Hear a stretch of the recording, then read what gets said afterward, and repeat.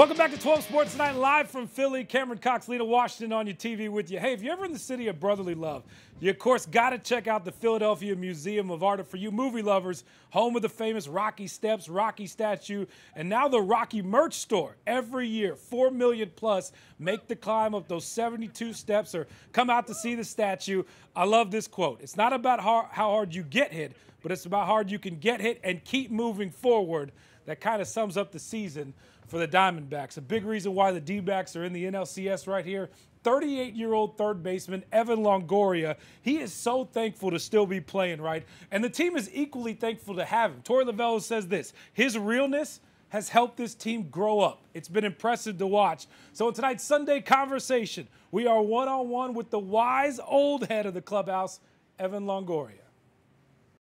Well, Evan, game one right around the corner. You've done this a bunch of times, but what are the feelings uh, before a big playoff game?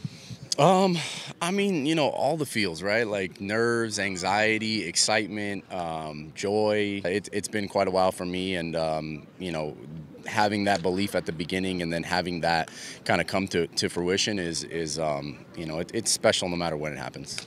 When you think of moments about this year, Evan, a couple come to mind. One, your slide into home plate, and two, that catch in Milwaukee. To have some big time plays that help his team get to that point, it's got to be pretty gratifying to you. I think especially because uh, the last you know month for me personally didn't feel like I did a whole lot like as much as I felt like I could have done. And yeah definitely um, it, it, it, feels good um, in in that moment. And then it, it's just been fun to watch the team grow um, you know watch our uh, younger players um, in big moments step up and uh, and just kind of lead us to where we are right now all right, the Phillies, what do you see from them when you turn on the tape?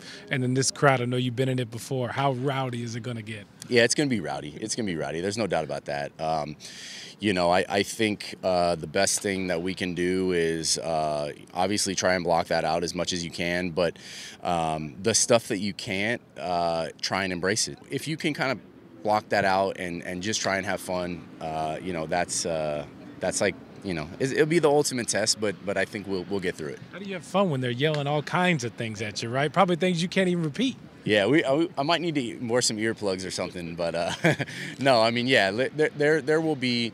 Um, you know some people that obviously you know show up and and they, they've got their book of things that they want to yell at you and they research right yeah. yeah. they've done their homework you know this is a this is a a, a, a proud fan base that's been around for a while a long long time you know and um, they'll be ready, but uh, I think we'll we'll be ready too. Get you out on this, Evan. I mean, anything can happen now, right? You guys are part of the last four teams standing, playing just as well as these guys, hitting the ball, pitching well. Anything can happen in this series, can't? Yeah, definitely. I mean, you don't get here um, by accident. Um, I think you know they know that and and we we know that as well um, you know a ton of respect for for that group over there uh, you know they did it last year like they've been here we know that you know they're tested they're um, you know they're ready for this moment, and I think that that we are too.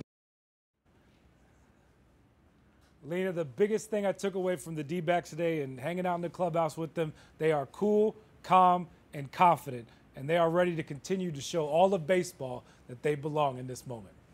They're dangerous too, Cam. Good work there with Longo. He is just the best. 38 years young and still doing it at a high level.